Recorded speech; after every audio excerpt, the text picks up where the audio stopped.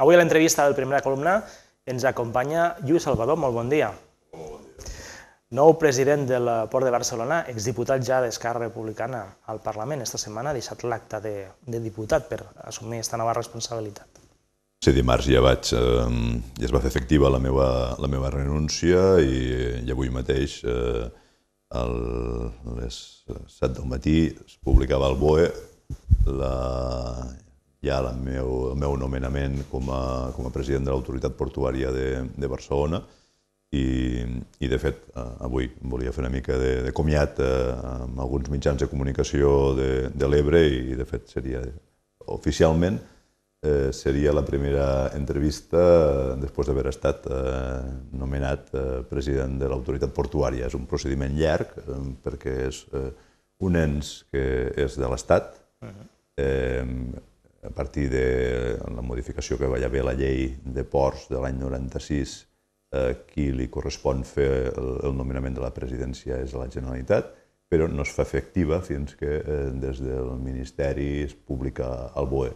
I per tant, tot i que dimarts va haver el nomenament per part del govern de, Catalunya, eh, fins avui que eh, el Ministeri eh, no ha fet la publicació al BOE no era efectiva. Per tant, eh, fins fa uns moments o fins fa unes hores eh, encara no ho era. Ara podem dir que sí i, i de fet, en dilluns ja, ja m'incorporo eh, plenament eh, a les noves funcions.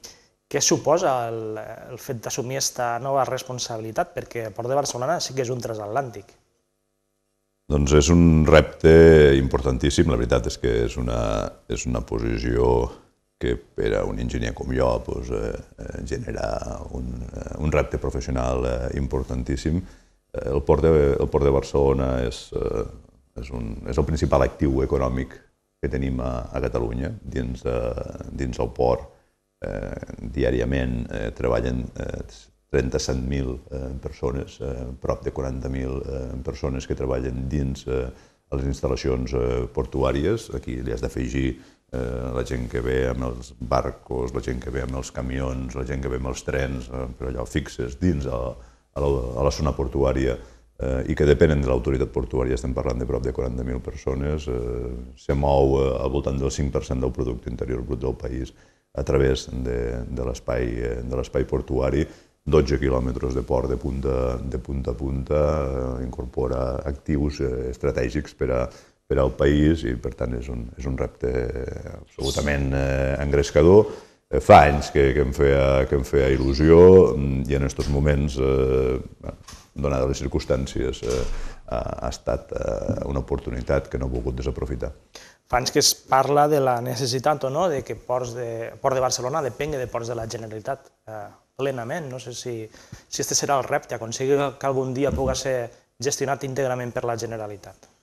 No, és, eh, no està en agenda en aquests moments. Eh, els ports, la dinàmica és que retornen una mica com eren fa 30 anys, eh, autoritats autònomes. De fet, tenen una, un funcionament molt autònom, amb un Consell d'Administració que no està eh, sotmès o, o no té una, una vinculació funcional a cap, a cap administració, mm, diguem no és, eh, no és Estat, no és Generalitat, eh, és un Consell d'Administració on hi ha una representació eh, amplíssima que és la que pren les decisions sobre, els pressupostos de, de l'autoritat portuària.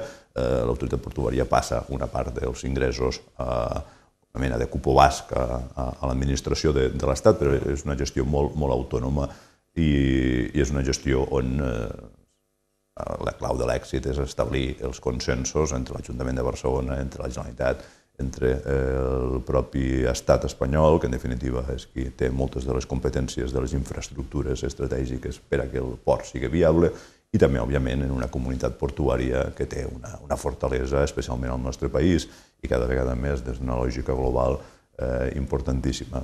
Per tant, és una governança que l'òptim no és que ni depenga de l'Estat ni de la Generalitat, sinó que sigui el més autònoma possible, com havia estat històricament, i que en definitiva, en bona mesura, ja és així.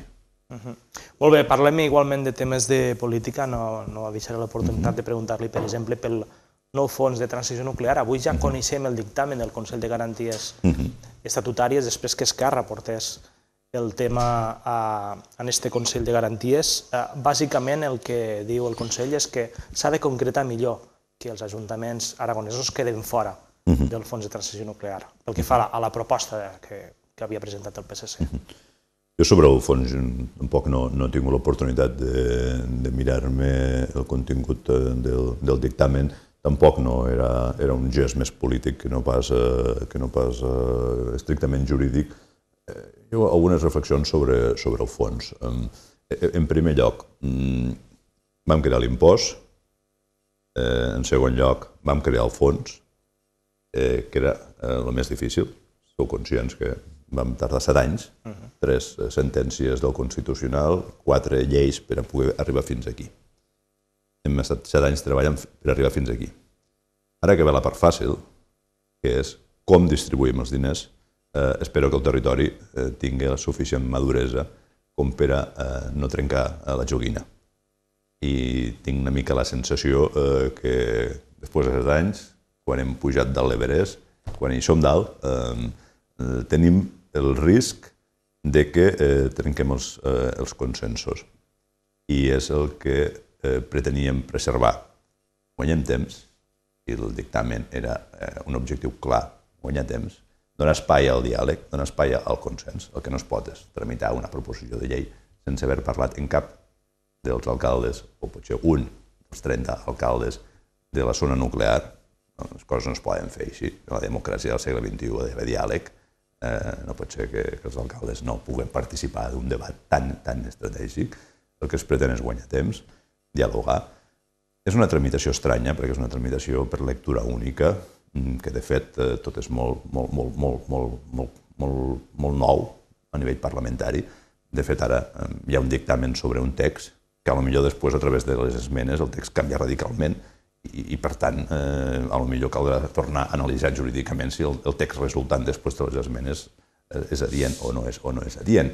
Però, en, en tot cas, diàleg i, i consens. Eh, aquí hi ha un element de fons que hi ha eh, els municipis on treballen aquestes 3.000 persones que estan en aquests moments i des de fa 30 anys sent extremadament generosos amb el país, que d'aquí 10 anys poden perdre la seva principal activitat i eh, que acabem desertitzant eh, aquelles zones, que en bona mesura ja ens està passant a la zona de la Ribera Nord. Per tant, això és un tema que no és per a frivolitzar, ni és per a fer això d'una una repartidora, ni és per a fer populisme de primer de bàsica. Això és un tema absolutament estratègic per a que d'aquí 10 anys no perguem un tros del nostre territori i que eh, la gent que viu allà, les 3.000 persones que en aquests moments i les seues famílies hagin de marxar allà i deixem el territori desertitzat. I, i així és com s'està actuant a tot arreu d'Europa. Tot arreu d'Europa es fan anàlisis, on treballen aquestes 3.000 famílies, on viuen aquestes 3.000 famílies, anem a generar-los alternativa. Uh -huh. Aquí estem eh, fent, eh, començant a obrir debats eh, que van d'altres coses. Van d'electoralisme, van de populisme i en tot cas el que sí, des de la perspectiva ja d'ex-diputat i la perspectiva en la que em puc mirar aquest debat és dir, no trenqueu la joguina, no eh, trenquem l'espírit del fons nuclear, que és preparar el futur d'aquestes 3.000 famílies eh, i eh, evitem els reptes de transformar això en una repartidora de caràcter electoralista, eh, de populisme, que ho sento algunes expressions, com que els impostos que paguen no se'n vagin a Barcelona. Si entrem en aquest debat, suposo que tots no som conscients que a Barcelona es paguen molts, molts més impostos per habitant que a les Terres de l'Ebre. Si algú vol, l'altre dia m'ho diu un diputat de Tarragona, diu, oh, que ja, si em quedo jo tots els impostos de la, de la petroquímica, eh, també tenim dret a exigir-ho. Per tant, no fem populisme, no fem debats eh, d'aquells que, que són eh, de primer de bàsica. Fem, afrontem el tema en la responsabilitat que correspon i sobretot en la responsabilitat de que d'aquí 10 anys no haguem de tancar eh, els pobles de les, zones, eh, de les zones nuclears. I ha estat extremadament generós, Eh, durant dècades per a produir l'energia del nostre país. Qui paga les conseqüències de l'energia nuclear hem d'ajudar-la en aquests territoris per a que el futur no haguéssim de desertitzar. Per tant, diàleg, mm, temps per a negociar, temps per a debatre mm, i eh, a partir d'aquí fer-ho ben fet i mm, ser responsables amb l'objectiu, com s'està fent a la resta de l'Estat i com s'està fent a Europa. I aquí ho hem de fer-ho exactament igual. Eh, un altre tema que preocupa al nord de la Ribera d'Ebre, evidentment, és el tancament anunciat d'Aircross uh -huh. eh, a Flix. Eh, què més es pot fer per a, no sé si, si fer que l'empresa canvi d'opinió, perquè ja sabem què va passar ara fa uns anys, ja el 2012-13, uh -huh. però com a mínim eh, quina ha de ser la resposta de, no només del territori, sinó del país, per a, per a buscar una solució. Bueno, D'alguna manera, el fons nuclear és la resposta del país. Escó, eh, Flix, eh, Ribarroja, eh, tot l'entorn de les centrals nuclears tenen dos grans problemes. El primer, no estan damunt de l'autopista. I una empresa i s'han gestionat des de fa 20 anys multitud d'expectatives per a poder eh, donar una resposta, perquè el problema de, Flix, de Flix eh, és una mort anunciada que, que venim arrossegant des de, des de principis del 2000, eh, cada, cada bugada hem anat perdent un llençol. Llavors, el problema de la Ribera Nord és que necessita un incentiu eh, econòmic per a eh, que eh, poder donar viabilitat de futur. Les empreses tenen molts, moltes, eh, molts incentius d'ubicar-se a la costa, d'ubicar-se al Catalunya Sud, d'ubicar-se eh, als polígons de Tarragona, als polígons, eh, als polígons de Reus, perquè la logística avui en dia, el cost de transport és un factor importantíssim en la presa de decisions d'on eh, ubicar eh, les instal·lacions industrials. Eh, quan has de pujar al Coll de Fatxes i has de pujar a, a Mora d'Ebre i has de pujar a Escó i has de pujar a Flix, cada vegada t'estàs eh, allunyant i eh, per a poder generar incentius a les empreses perquè s'ubiquen allà eh, hem de eh, millorar les condicions, hem de millorar la comunicació, hem de millorar eh, poder disposar de gas, hem de poder millorar poder disposar de, de, de 5G, de fibra òptica d'alta qualitat, i tot això significa eh, transformar, generar les condicions eh, econòmiques mm, més ventajoses que no pas a la costa perquè si no ho fem així, les empreses s'aniran a, a la costa. I, I aquesta és la, la, la filosofia, en definitiva, del fons nuclear, i malauradament no només estem parlant d'Escó, sinó que estem parlant de, de 10 quilòmetres més amunt, que, que és, eh, que és Flix, eh, en una pèrdua de, de, de, de llocs de treball que, que venim arrossegant des de, des de fa dècades, i per tant, millorar eh, les infraestructures. Vaig tenir una conversa amb l'alcalde d'Escó telemàtica fa un temps que em se va quedar gravada, alcalde d'Escó deia. Jo com a Ajuntament he tingut, Ajuntament d'Escó, alcalde nou, uh -huh. hem tingut molts de diners, molts. El que li fa falta a Escó i a la Ribera d'Ebre no són més diners, són eh, més empreses, són eh, generar eh, transformació de les condicions per a que les empreses se puguen instal·lar, posar les condicions per a que les empreses se puguen eh, instal·lar. I és això el que necessitem no és una repartidora, t'anà repartint diners, sinó necessitem estratègia. Necessitem que el Departament d'Empresa agafa els polígonos i els dota dels instruments imprescindibles per a que siguin eh, competitius. I quan parlo de polígonos, parlo del Molló i parlo de eh, sol industrial Escó, parlo de sol industrial a, Flix. I aquesta és la, la, feina, i això és el que pot fer l'administració, generar unes condicions òptimes, millors que la costa, millors que a l'autopista, com per a que aquests territoris tinguin futur. I no és fàcil, i per a això s'ha de fer un, sobre, un sobreesforç i s'ha de eh, fer una eh, visió estratègica absoluta. -huh. Algú pensarà que era necessari desdoblar l'Eix de l'Ebre, per exemple, no? tindre millors infraestructures a la, a la Ribera d'Ebre. De fet, el Consell Comarcal ha demanat diferents vegades el desdoblament d'aquesta carretera. És, eh, és, és una millora, però no és l'estratègic. L'estratègic eh, és eh, millorar la comunicació en autopista. I això passa per eh, fer que eh, la comunicació eh, de la Ribera Nord a través del Coll de Fatxes en autopista sigui eh, millor que la que tenim en aquests moments, que tot i que no és una mala carretera, però la comunicació de la logística global eh, en aquesta eh, zona no passa per l'Eix de l'Ebre, sinó que passa eh, per eh, el punt més recte, entre aquests municipis i, i l'autopista i, la, i la carretera. Això no vol dir que, que, que millorar l'eix de l'Ebre no sigui necessari, evidentment, però és necessari per a altres coses. Però per a eh, transformar econòmicament, els camions que pugen a Flix no van per l'eix de l'Ebre, van per l'eix de l'Ebre entre Mora i Flix però després el que busquen és eh, la comunicació amb els ports, la comunicació amb el sistema ferroviari i el, el punt estratègic és eh, el pas del Coll de Fatxes. Um, L'Eix de l'Ebre, sabeu que s'està treballant des del Departament de Territori en posar un tercer, un tercer carril, és una solució que s'està aplicant en un cert grau d'èxit eh, arreu de, arreu de l'Estat eh, i també eh, s'està desenvolupant a nivell de Catalunya. És una millora, eh, és més viable en funció per espais, perquè no tot el traçat de l'Eix de l'Ebre dona per a quatre o quatre carrils. Eh, a vegades no és, és molt complicat o molt car poder-los poder, encabir.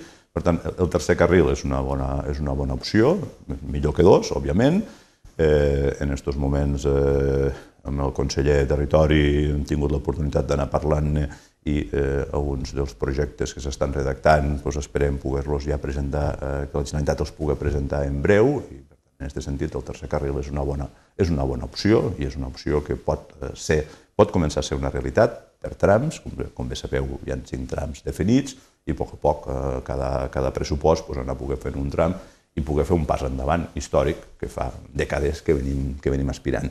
Que després d'un tercer carril pot venir en quatre, no és descartable, però de moment em sembla que eh, ja, ja prou feina tenim en els proper, la propera dècada per a poder posar un tercer carril a l'eix de l'Ebre i serà una millora importantíssima per a la vertebració de, de les Terres de l'Ebre. I tant.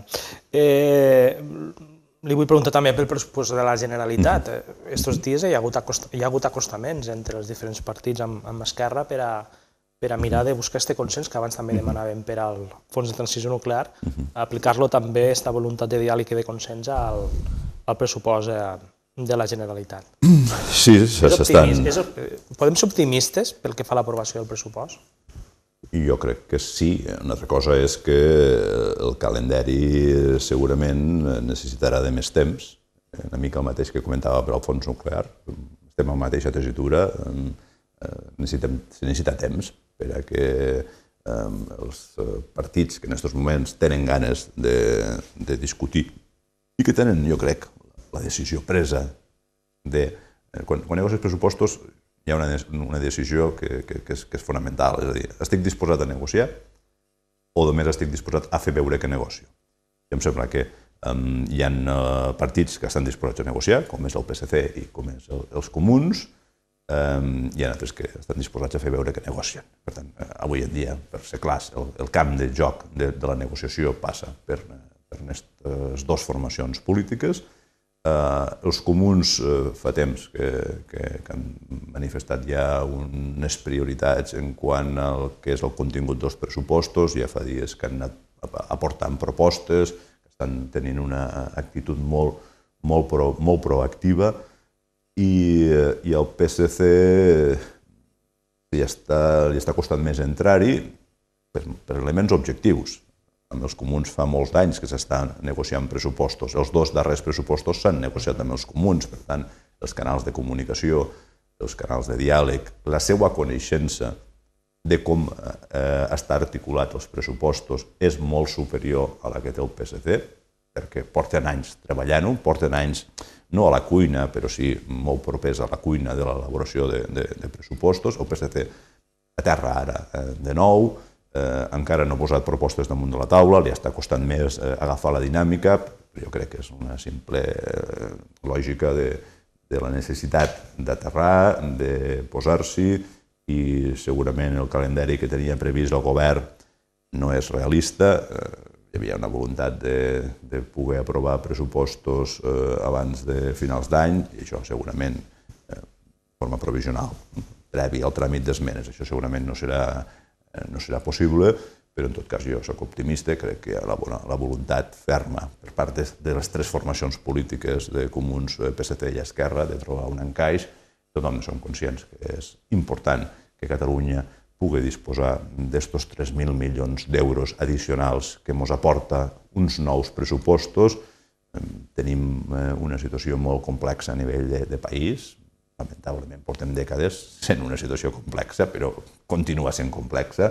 Necessitem d'estos recursos, necessitem d'aquestes eines i aquestes transformacions polítiques, avui per avui, segurament per el seu compromís amb el govern de l'Estat, amb l'Ajuntament de Barcelona, amb el govern de l'Ajuntament, amb el govern de la Generalitat, tot plegat, va, que, que assumeixes la responsabilitat de formar part de les solucions, d'ajudar que el país tiri endavant, encara que mm, la conjuntura política pues, no sigui la més idònia. Mm.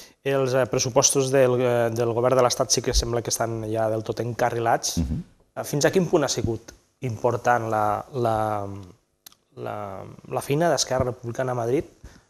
Sembla, sembla en, alguns, en alguns moments que el PDeCAT amb quatre diputats ha, ha pogut treure més, més eh, inversions per a Catalunya. No sé si tenen la mateixa sensació des d'Esquerra.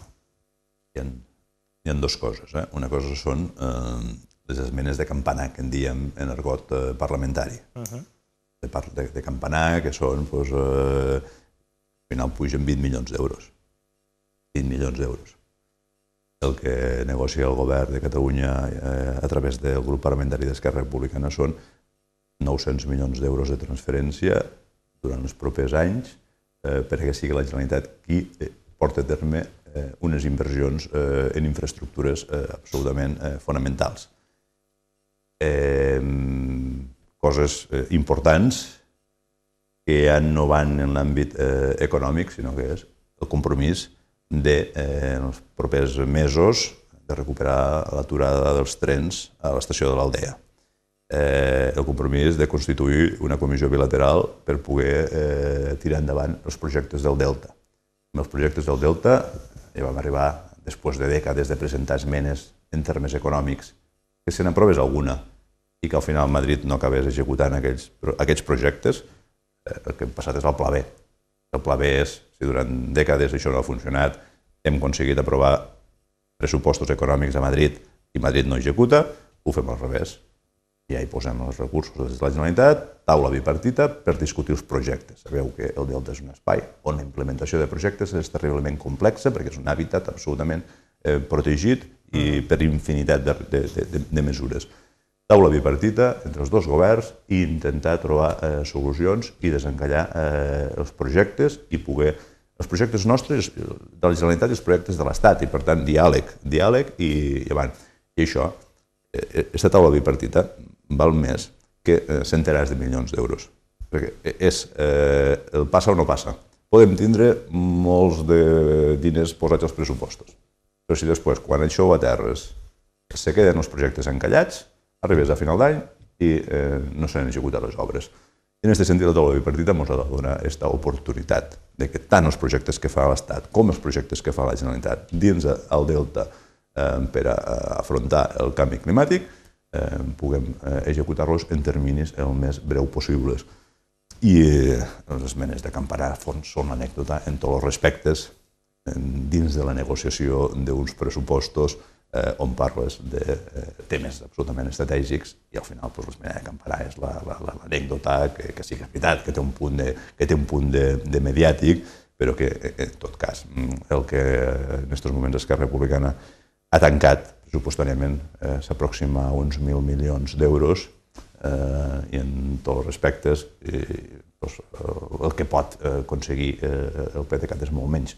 Dit això, trec el barret en la feina que fa eh, el grup parlamentari del PDeCAT a Madrid, en la poca força que té, només són quatre, eh, fan una feina extraordinària i, evidentment, aquí el bon fer d'alguns eh, diputats eh, en molta experiència i en molta capacitat s'ha de reconèixer la, la molt bona feina i, al final, eh, en aquests moments, ser útils al país eh, és un factor, és un factor transcendent. I, i quan eh, alguns diputats eh, el que fan és eh, convertir el seu temps en resultats per al territori, doncs no, no puc dir altra cosa que felicitats als diputats del PDeCAT, felicitats als diputats d'Esquerra Republicana que estan aconseguint millores per al país. Uh -huh. Molt bé, Lluís Salvador, eh, moltes gràcies per eh, vindre avui al Primera Columna, Canal 20 i que vagi molt d'aquesta nova etapa com a president del Port de Barcelona. Moltes gràcies a vosaltres i en tot cas també avui eh, era un cert comiat eh, per als mitjans de comunicació de, de l'Ebre, sempre heu estat molt, molt amables eh, en la feina que he vingut eh, desenvolupant, eh, continuaré estant-hi eh, més prop o, o més lluny, continuaré sempre intentant ajudar en aquestes terres eh, i en aquest sentit tampoc no és un me'n vaig, sinó que eh, és, eh, és distanciat uh -huh. física, però que en tot cas sí que volia fer-vos un agraïment per, per tots aquests anys en els que hem pogut anar eh, parlant i fent moltes coses junts. Fins la propera, bon dia.